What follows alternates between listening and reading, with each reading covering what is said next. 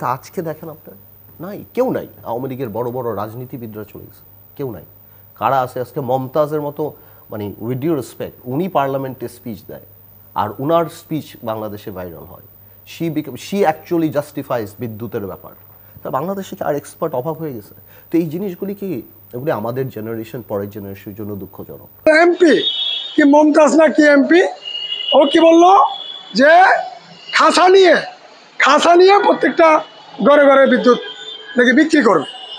আমি মমতাজের নেত্রী, স্বৈরাচারী নেত্রী শেখ হাসিনাকে প্রশ্ন করতে চায় যে কয়লা বিদ্যুতে যে লক্ষ লক্ষ কোটি টাকা ইনভেস্ট করছেন, বিদেশ থেকে লোন নিয়ে ডুবাইছেন, এই কয়লা বিদ্যুৎ প্রকল্পগুলো এখন বন্ধ করলেন কেন?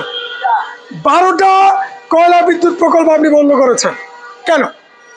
কেন বিগত সাত মাসে যে তেরো হাজার কোটি টাকা বিদ্যুতে ভর্তুকি দিলেন, কেন ডেইলি একশো দশ কোটি টাকা বিদ্যুতে আপনি লস দেখাচ্ছেন? কেন? জনগণ কি বিদ্যুতের বিল দেয় না? জনগণ কি বিদ্যুতের বিল পরিশোধ করে না? জনগণ বিদ্যুতের বিল টিকা পরিশোধ করে।